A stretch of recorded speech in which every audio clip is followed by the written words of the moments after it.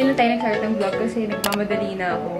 Ininayusan ko pa si mama kasi meron din siya attendante po. Tapos, actually, malilate na ako sa event kasi 4.30 na. Kasi inintay ko pa si Kenneth kasi wala akong mapag-iwan kay Pablo. So, isasama ko sila sa event. Ito yung outfit natin today. Aking, ano matawag dito? One piece jumpsuit. Ewan ko kung ano tawag dito na skirt. And so, this is from apartment 8. Yung foundation ko is Marc Jacobs. So, yung eyeshadow na ginamit ko is yung colorette na palette. Ito, yung palette nila. Tapos yung lips ko is liquid lipstick nila, yung super matte na Ellie. Um, lashes is from Spy Glamour. This is Zane. So yun lang the usual na aking makeup. Actually, naantok pa ako kasi late na rin ako naka-uwi kagabi. Kasi birthday din ng friend ko. Ayan. So, di na ako nag-vlog doon kasi actually galing din kami ng wedding. Ipo-flash na lang namin at the end of this vlog yung mga ganap. Pinakita ko doon kung paano ko ginawa yung makeup ko. Konting clips lang, tapos mostly photos yung nandun. Siyempre, di ba, usually pag nag enjoy ka, ayaw mo masyadong nakafocus sa pag-vlog. So, Ayan, ninamnam ko ang aking um, bakasyon bilang sobrang uh, pagtatayan sa trabaho the past few days. Kaya magsasapatos lang ako. Kaya ganito ang outing outfit, nude. Kasi yun ang theme nung party or event na pupuntahan natin. May ilo-launch silang mga bagong makeup kaya sobrang excited. We are officially starting the program. Are you guys ready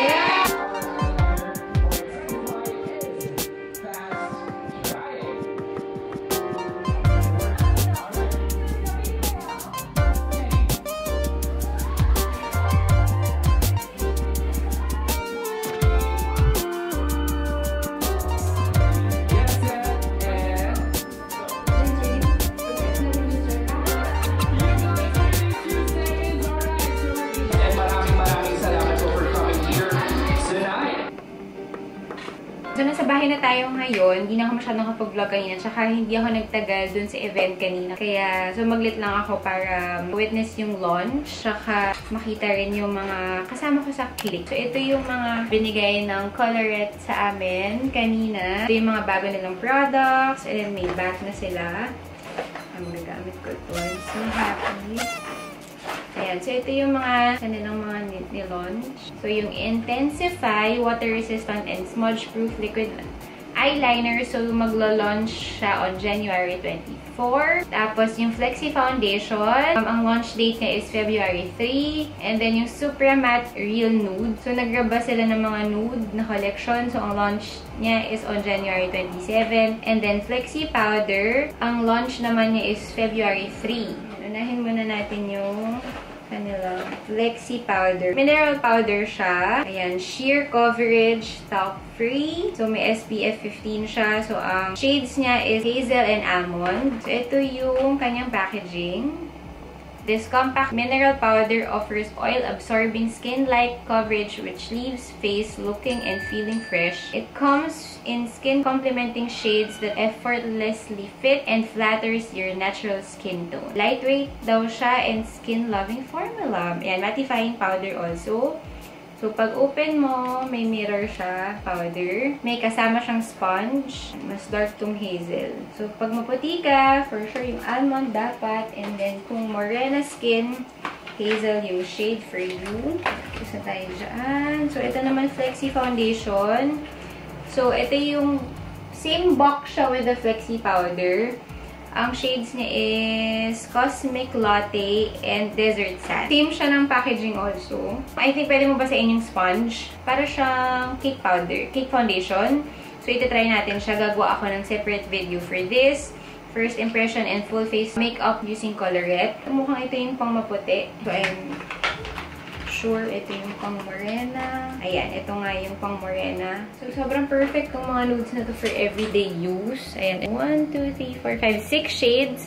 Yung nilabas nila na Real Nudes Collection. Ayan siya. Sobrang ganda ng pagka-nude niya, guys. Tsaka, alam niyo ba, sobrang bango. Dun sa hindi pa nakakatry ng Colorette na Super Matte. Sobrang niyang bango. As in, may pagka-mint. Tsaka pag nilagay niyo siya, as in parang minty yung feel. Tapos long-lasting siya. Kasi pag every time ginagamit ko sa sarili ko, meron din ako mga Colorette na ginagamit ko sa client ko. As in, ang tibay niya, tsaka hindi siya ganun as drying, katulad ng mga ibang liquid lipstick. Kaya sobrang, sobrang, sobrang marirecommend ko siya. Hindi dahil click lang ako or binibigay sa akin yung products nila. I mean, kahit hindi ako bigyan, bibili ako ng products nila. Actually, before, bumibili pa talaga ako ng product nila nung hindi pa ako part ng click. So, ngayon, sobrang happy ako na naging part ako ng click. So, yung mga first dibs ng mga products nila, may experience ko na. So, yung launch ng Real Nude is on January 27. Abangan nyo yung IG stories ko or yung Facebook ko. I-share ko yung announcement ng Color It once na out na nila itong mga product na to. Yan, dito na natin i-end tong video na to. Sana na-enjoy nyo. Kahit hindi ako masyado naka-vlog kanina sa event. Kasi after ng event, nag-SM Aura pa kami. Kasi may mga kailangan pang bilhin dahil yung friend namin from Guam dito sa Manila. Uuwi na siya tomorrow. Yan yung mga gift namin ipadala sa kanya. Inasikaso pa namin. Doon na rin kami nag-dinner. Kaya ayan, thank you so much for watching. Sana na-enjoy nyo tong vlog na to. Sobrang bihira ako nagbo-vlog. Ayan, so bago ko i-end tong vlog na to, ipapakita ko yung mga kaganapan. Nung isang araw, yung pinuntahan namin na wedding, yung ginawa kong makeup dun sa wedding na yon and yung mga konting um, ganap ng wedding na yon. Thanks so much for watching. Good night. Bye! Hi guys! Good morning! So, today is January 8. Ayan, may wedding tayo pupuntahan. so, nag-alarm ako ng 7, hindi ako nagising. So, 8 na ako nagising. Kaya, medyo magmamadali na ako mag-makeup. So, supposedly, mag-tutorial ako ngayon. Pero, bilang late na, kasi alis dapat kami ng 10, kaya yun. Pero, i-on ko na lang yung camera hanggat kaya kong i-explain yung ginagawa ko sa makeup ko. At hanggat buhay yung camera ko, Ayan, para mapakita ko kung paano ko gina ginawa yung makeup ko. So, gagamit tayo nitong MAC Prep and Prime Fix Plus. So, ito yung bago nilang set. So, ayan, pagpasensyahan nyo na kung medyo magulo itong side na Sinalampak ko lang dyan yung mga makeup ko. Ayan. So, ito yung MAC Prep and Prime Fix Plus. Yung bago nilang scent yung Rose. Ito yung kinuha ko na scent kasi color pink. Tsaka mabango siya. Ayan. Yan. Gagamitin natin foundation is yung Marc Jacobs. Pero bago yung foundation, ako'y magko-corrector muna kasi as you can see, yan, ang lala na nung dark circles ko. So, ito yung NARS Radiant Creamy Concealer, pero yung shade niya is Light 3 Honey. Ito yung ginagamit kong corrector. Actually, paubos na siya. Kailangan ko nang bumili ng bago. Dali ang setup lang to kaya yung gamit kong camera ngayon is yung vlogging cam. Actually, pag may mga ganitong event na whole day, so usually nag-ano ko, nag-airbrush. Pero bilang una ako'y tinatamad, alam niyo, mas tinatamad ako mag-makeup sa sarili ko kaysa mag-makeup sa ibang tao. Ayan, yung gagamitin kong foundation ngayon is yung Marc Jacobs Remarkable Foundation. Ang shade ko dito is number 14, Ivory Medium. Ang gamit ko ngayon na sponge is yung from 3CE. Ayan. Pinakita ko to nung aking Korea haul. Yung theme ng wedding is black and white. Kaya lahat ng girls naka-white. Actually, white, nude, silver. Yun, basta light color. Ang rule is walang kahit anong kulay na pwede. Hala, hindi ako nakapag-primer. Naloka. Wala na, nag-spray ako nito. So, pwede na yun. Hopefully, bulas ng bonggang-bongga. Gagamitin ko yung Clio Kill Brow Tinted Tattoo Brush na pen.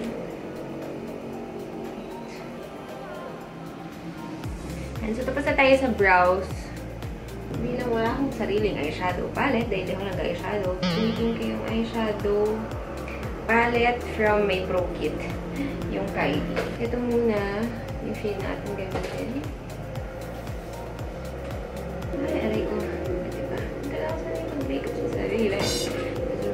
Nasusunod ko pa yung mata ko.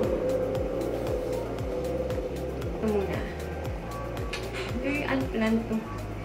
Ano lang gagawin ko sa aking makeup look. Alam mo, 8.30 na pala. Nalis pa ako ng buhok. Gusto ko nga sana magpa-hair kay Wayne, yung hairstylist ko pag nagigig ako. Eh, kaya lang may wedding siya ngayon. Kasi pag buhok talaga, Diyos ko. Sariling sikap tayo today.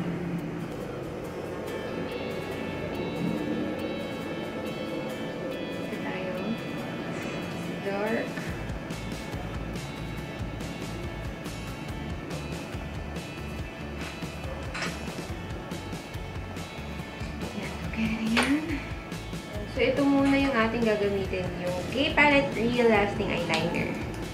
Na pen.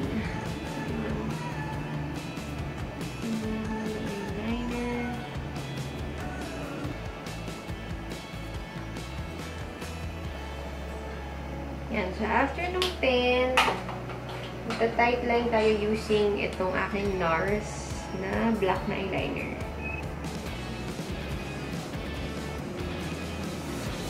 Meron yata dumarating na alien sa labas, guys. Okay. Survey tayo ng eyeliner. Ito, ang aking isa pang struggle is yung paglalagay ng lashes.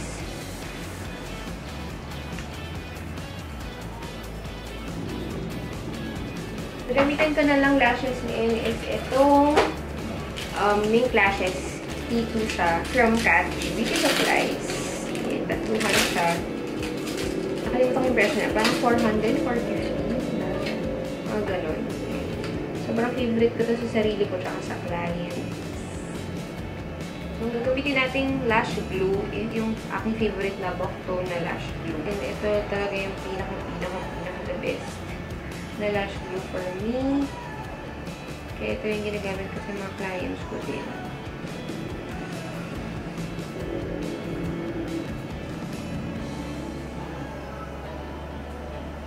After 10 years, natapos tayo sa aking pilikmata. Struggle.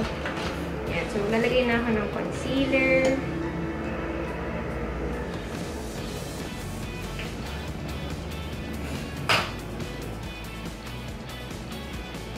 Tapos, para as in, pantay siya, nilalagyan ko pa siya ng konting Clio.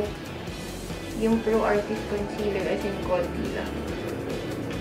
Kasi ito yung parang nagpapapantay. Tapos, gagamit tayo nitong Laura Mercier na Translucent Powder. Ito talaga ang technique para hindi mag-crease. Lalo na yung mga nilalagyan ng concealer. Yan. Tapos, yung aking malaking brush. Lang natin ang powder ng aking fez. And then, gamitin ko to Makeup Forever na yung Jessie J palette. Ang gagamitin kong contour is yung from MAC ko customized palette.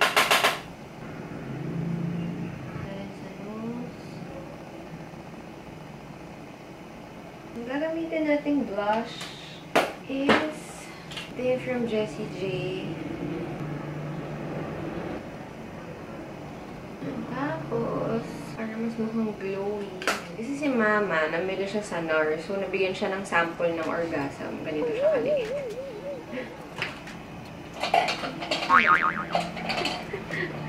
Dati ko nakakalimutan tayo maglagay ng eyeliner sa lower lashes. Naalala ko, hindi lang sa aking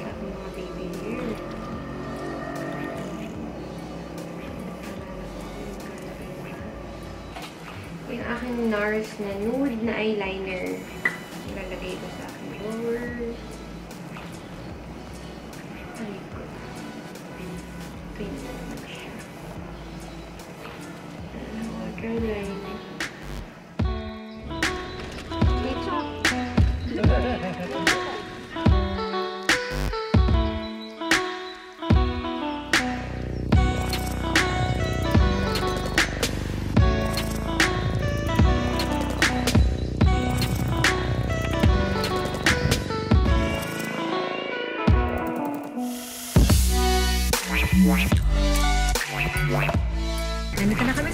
Church. Pero 2.30 pa yung wedding, 1.30 pa lang.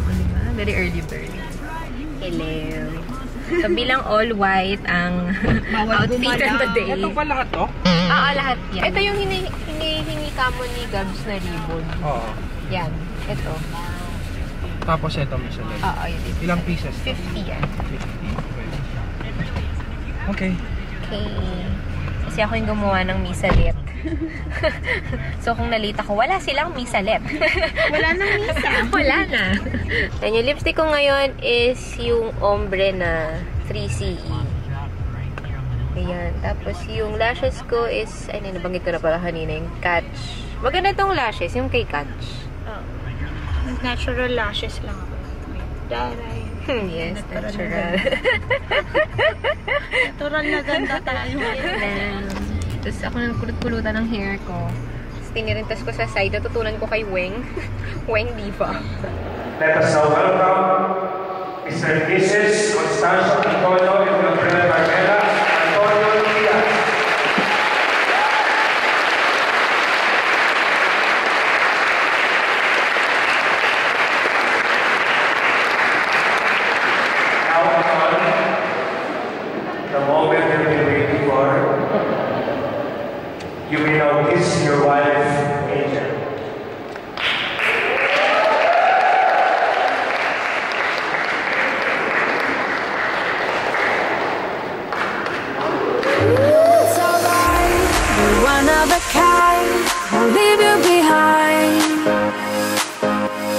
And through the night when we're running blind.